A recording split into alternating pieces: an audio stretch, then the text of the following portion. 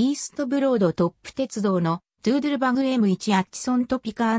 サンタフェ鉄道のドゥードゥルバグ M119 ドゥードゥルバグは鉄道車両の一種。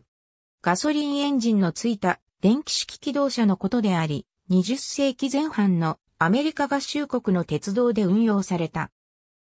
ドゥードゥルバグは本来なら昆虫のあり地獄を指す単語であるが、アメリカ合衆国ではガソリンエンジンで発電機を回して電気を作り、それでモーターを動かして走る客車のことを指すようになった。動力のない付随車を引いて走ることもあったが、一両だけで走ることの方が多かった。20世紀の初め頃には、あちこちの鉄道で見られ、蒸気機関車に代わって、あまり輸送量の多くない視線で、乗客や郵便物を運んだ。ドゥードルバグは、世界恐慌で、貨客需要が減少した1930年代から姿を消し始めた。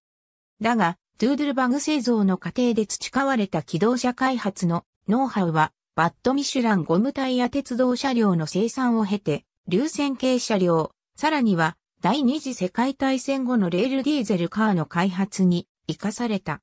ドゥードルバグというあだ名は後にナチスドイツの V1 飛行爆弾にも付けられた。ありがとうございます。